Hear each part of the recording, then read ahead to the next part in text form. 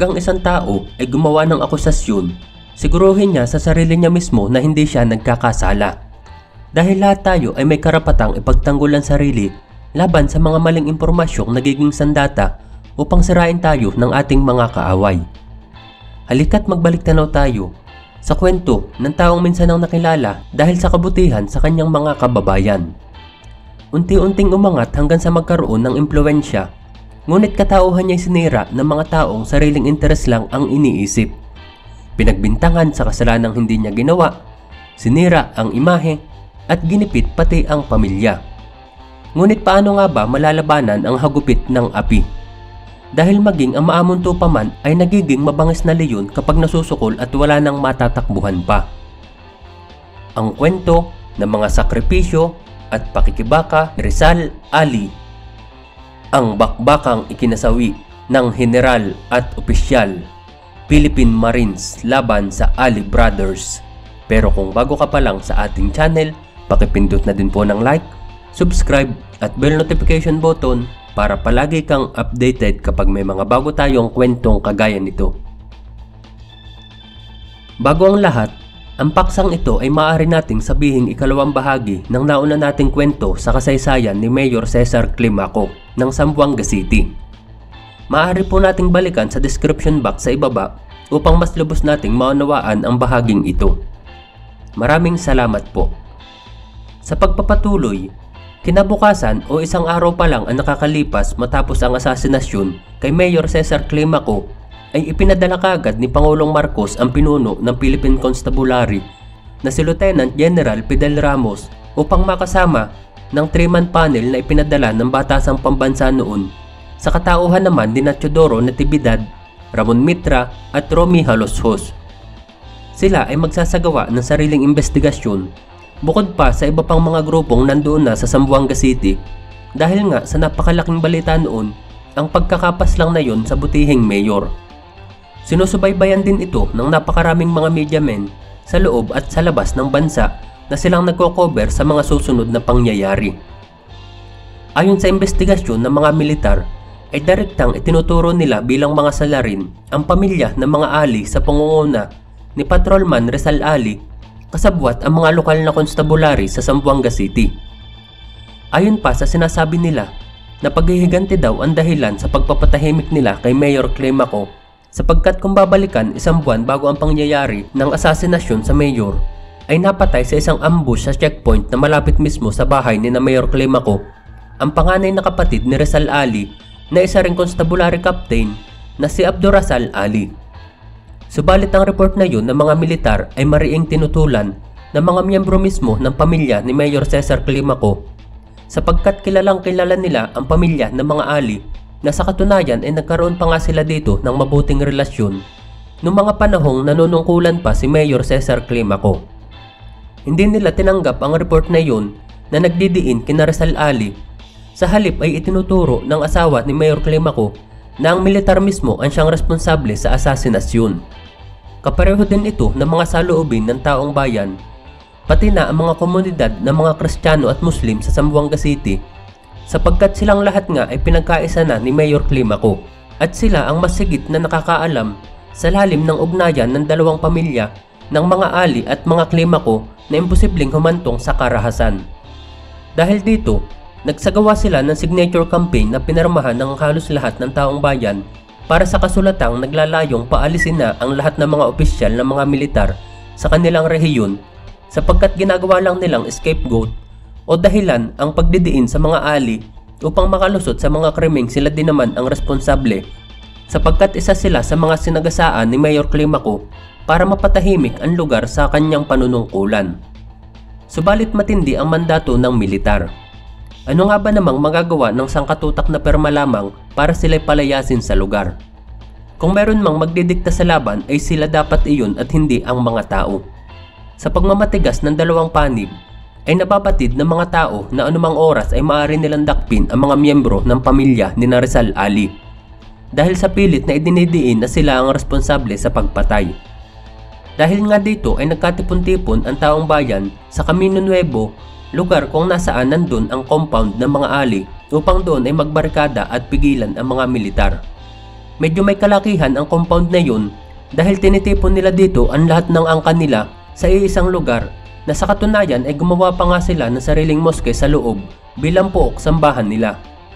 Ikadalawamput lima ng Nobyembre na noon, ilang araw lang pagkatapos ilibing si Mayor Cesar Climaco ay nangyari na nga ang kinatatakutan ng lahat. Dahil ilang batalyon ng mga Marines ang nagtungo sa lugar ng mga ali upang magsagawa ng zoning operations o ito yung klase ng operasyong hahalughugin nila ang buong lugar upang kilalanin ang pagkatao ng bawat isang nandoon at ganun din upang maghanap ng mga armas at pampasabog na posibleng may kinalaman sa pagkakapatay kay Mayor Climaco. Subalit bago pa man makarating sa gate ng compound, ay sinalubong na kaagad sila ng mga putok mula sa loob ng compound kung saan nandun nakapwesto na ang palabang pamilya ni Narizal Ali. Sa paunang pagbating ito ay bulagta kaagad ang tatlo sa mga marines at nasugatan ang karamihan sa kanila. Nasorpresa ang militar sa engranding pagsalubong na yun sapagkat zoning lang naman ang kanilang misyon na walang balak dakpin ang pamilya Ali subalit bala nga ang isnalubong sa kanila.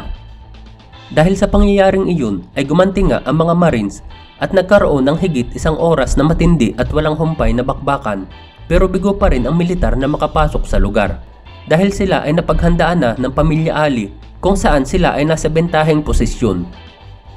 Pansamantalang nagkaroon ng ceasefire nang sumigaw ang opisyal ng Marines na itigil ang pagpapaputok. Ito ay upang linisin nila ang kanilang hanay dahil nagkalat na sa kalsada ang kanilang mga patay at sugatan. Gamit ang mga personnel armor carrier bilang pananggalang ay isa-isa nilang dinampot ang mga casualties nila na nagkalat. Samantalang sa kabilang banda habang nagsasagawa ng clearing operations ang militar, ay hinimok naman si Narizal Ali at mga kapatid ng kanyang commanding officer na si Jesus Herson na makipagnegosasyon sa kanya mismo. Dahil nga kinikilala naman ni Narizal Ali ito bilang hepe ng kanilang bayan, ay pumayag silang papasukin ito sa compound upang makausap.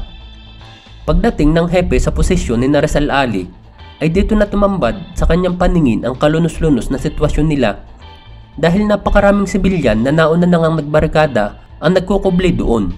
At nasa higit apat na po pang mga bata ang nakapwesto malapit mismo sa kinaroroonan ng magkakapatid na Ali ang pilit nilang pinoprotektahan laban sa sumasalakay ng mga militar. Kaya't ganun na lang sila kung makipagbakbakan sa mga ito.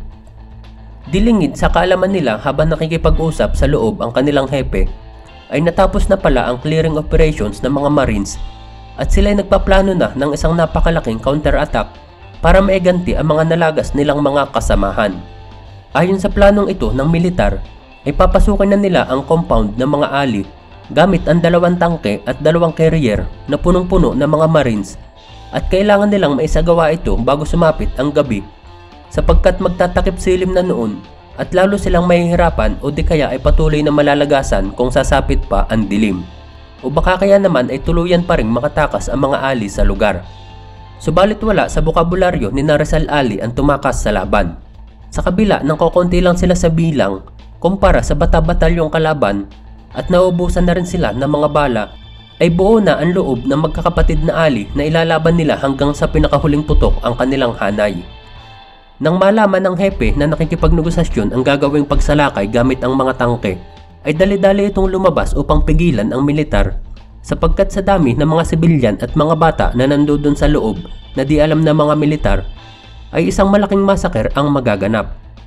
Kahit papaano ay natauhan ng militar nang malaman nilang ganun ang sitwasyon sa loob at ipinagpaliban nga nila ang pag-atake. Pinalipas nila ang gabi at naghintay hanggang kinabukasan. Ganon din ang ginawa ni Hepe sa magkakapatid na Ali. Ipinaliwanag niya sa mga ito ang magiging senaryo sa pagpasok ng tangke ng militar na maraming mga sibilyan ang madadamay. Dahil dito, mabigat man sa loob, ay napilitang ibaba ni Rizal Ali ang kanilang mga armas at isuko na lang ang laban. Hindi dahil sa talo na sila, kundi sa dami ng mga batang kasama nila. Sapagkat tinanggap na rin naman nila sa sarili nila na hindi na sila makakalabas pa ng buhay simula pa lang nang magkaroon ng bakbakan. Sinabi din nila sa hepe nila na unang rumatrat ang mga sundalo kaya sila napilitang dumepensa para sa mga taong nasa kanilang compound. Muli din nilang nilinaw na hindi sila ang pumatay kay Mayor Cesar Climaco. Ngunit hindi rin naman sila magpapahuli ng buhay sapagkat nalalaman nilang papahirapan lang sila ng mga militar hanggang sa mapaamin sa kasalanang hindi naman nila ginagawa. Ito rin ang nakikitang dahilan ng taong bayan kaya't sila ay nagtungo sa compound upang magpakita ng suporta sa mga ali upang pigilan ang sinumang magtatangkang humuli sa magkakapatid. Hindi nga lang nila inaasahang may sisiklab na madugong bakbakan ng mga sandaling iyon. Dahilan naman para maipit silang lahat sa loob kasama na ang mga bata. At ang masaklap na kapalaran naghihintay at haharapin ni Rizal Ali at mga kapatid sa kamay ng militar sa kanilang pagsuko at ang mandugong engkwentro sa pagkubkob sa kampo Kawa-Kawa sa ating susunod na kwento.